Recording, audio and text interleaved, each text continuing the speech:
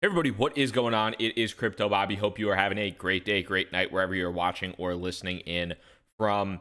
Pretty interesting day when it comes down to institutional players kind of getting into the mix even more, even more, and a lot of, I think, different topics we can discuss today. One of the more interesting ones, I think, is Fidelity, who has been uh, pretty progressive when it comes down to cryptocurrencies, crypto assets the CEO has been very progressive. They integrated uh, Coinbase basically to, to track your Bitcoin cryptocurrency holdings through Coinbase into Fidelity months and months ago. So they've been pretty focused, uh, I think, on being forward looking when it comes down to crypto assets.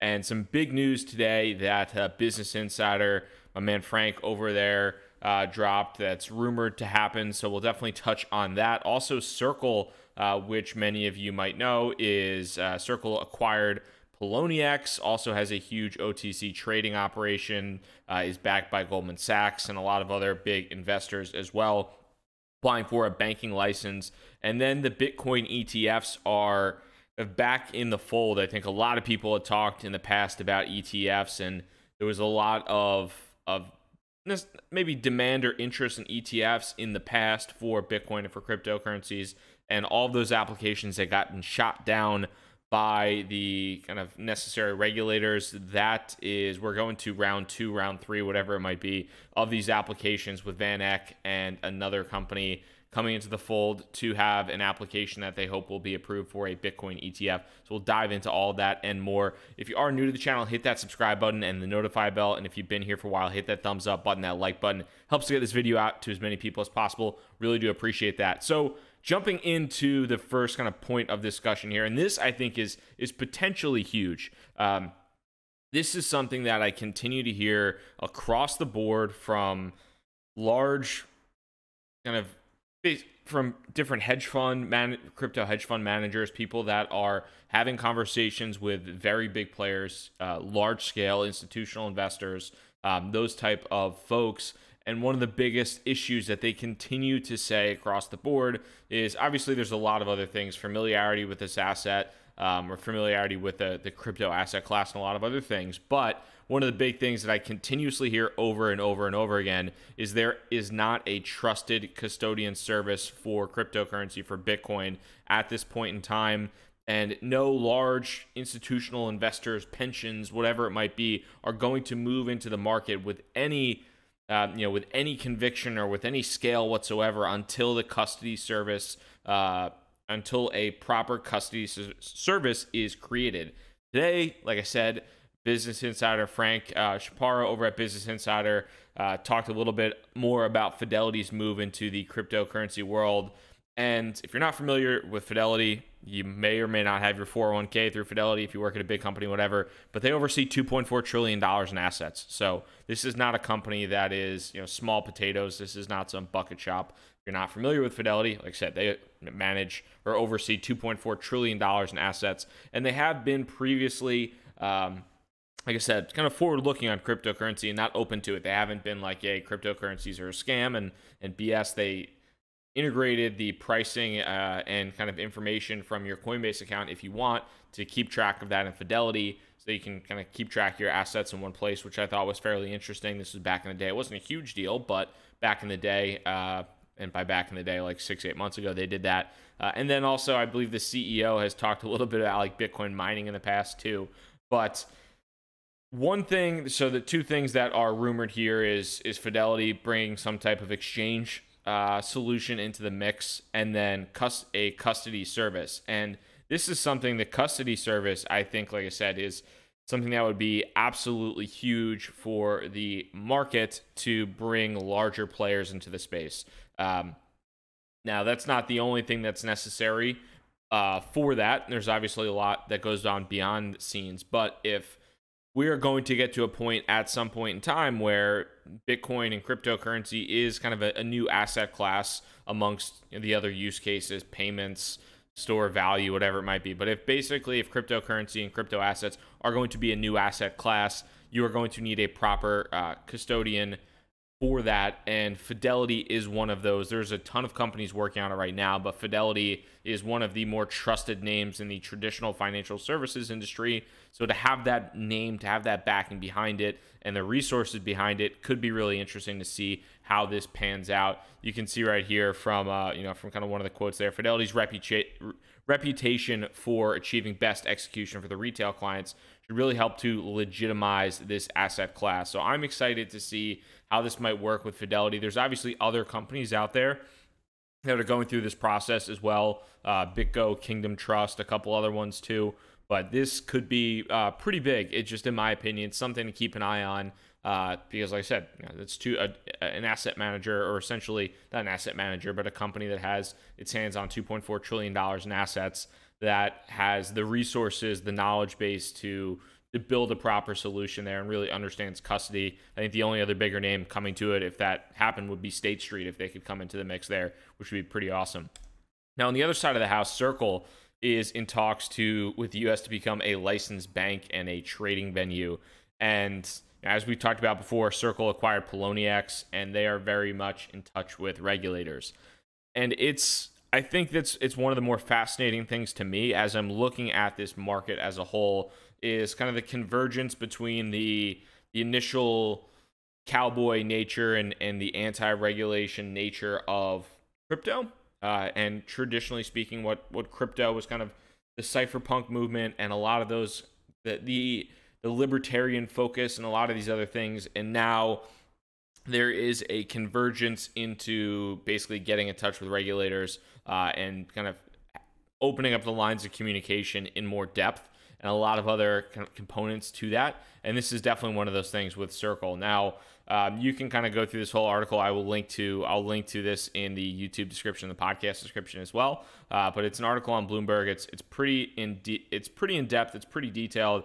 There's a lot of discussion as far as what Circle CEO Jeremy Allaire talks about, and basically saying, hey, they want to be a they really want to kind of start working with regulators and kind of be a guinea pig for a a truly regulated crypto exchange and to, to open up the the pathways for legitimacy in this industry. So it will be interesting to see how this pans out. I have no idea what it will look like, but I think um, as much as some people may or may not want it, you're going to see continued regulation happen more and more and more. Um, so this will be a pretty fascinating to watch.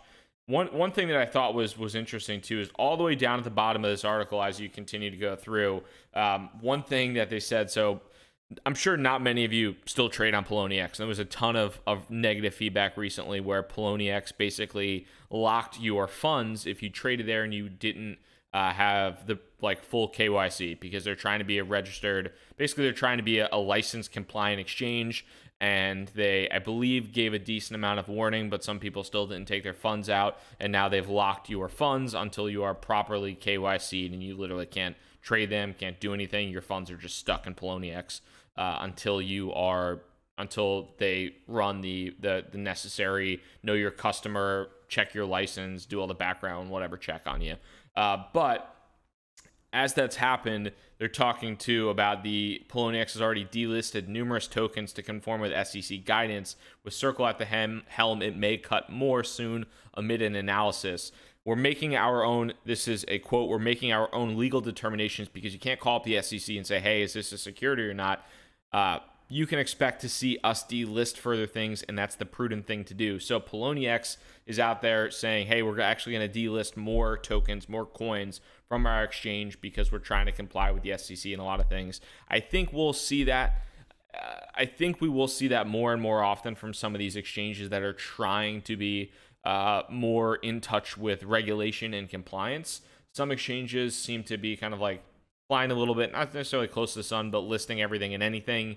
And then some exchanges are going in the opposite direction because uh, they think that'll be a safer move for them for longevity. So that'll be that'll be quite interesting to watch pan out. But I definitely recommend giving this article uh, on Circle a read. And then the last thing, so Bitcoin ETFs. People have been talking about Bitcoin ETFs for a long, long time. The Winklevoss brothers were applying for that. There were a number of other companies out there that try to apply for Bitcoin uh, to to create a Bitcoin ETF and to allow uh, investors to if you're not familiar with an ETF, an exchange traded fund basically allows you to um, buy whatever is kind of backed by that ETF on whether it's your Scottrade account or your E Trade account or whatever it might be, or in you know Robinhood, just basically buying it as a stock. Um, and people are trying to do that with Bitcoin, and a lot of the applications, I think there were like ten outstanding applica- ten existing applications to be an ETF to the SEC, uh, and the SEC was like, "Hey, uh, get rid of these. We're not confident in this moving forward. We need to to re regroup on this." Uh, VanEck, which is a company, it's a financial services company that runs a number of uh, ETFs, and they are working with SolidX, which is more of a, a crypto related company. So VanEck and SolidX partners are working to try to create a new Bitcoin ETF that conforms to the concerns that the SEC had previously, which is interesting. And the big thing here is it's going to actually be backed by it's it's going to be backed by physical Bitcoin, uh, and then also use a number of regulated exchanges that will allow uh, VanEck and this this ETF to keep track of the Bitcoin prices using this regulated uh, these regulated exchanges, not some random bucket shop number or something like that. The one thing to note though is that if we as, as we scroll down here, it is supposed to be one of the big concerns with these ETFs is the SEC is saying, "Hey, we don't want retail investors," which is I think kind of crazy, but we don't want retail investors to have to be able to get exposure to these ETFs because it is a highly volatile product and and we just don't feel comfortable with that. So one of the things that VanEck is doing is rather than pricing the ETF like let's say at maybe the price of Bitcoin or at $100 or whatever the the pricing structure might be, um, the share price of an ETF, because you can't buy half a share, uh, the share price of the ETF will be approximately $200,000, meaning that unless you are either a um, you know wealthy individual or a larger um, a larger institution or uh, something like that, then you're not going to have access to acquire one share for two hundred thousand dollars of this ETF, and they believe that will kind of help to reduce some of the SEC's concerns around the ETF. Now, I think this would be uh, a positive thing to if this moves forward. Granted, I, am not getting too excited about it because every single time there's been a big Bitcoin ETF application, it's gotten chopped down fast as hell. But this could be really interesting in my mind because it, it could maybe open the door up a little bit and allow some people that have a significant holding of wealth to gain more exposure to or gain any exposure to Bitcoin without having to own the actual underlying asset and worry about the custody and things like that. So this is something that you definitely want to definitely want to keep an eye out on as we continue to move forward here.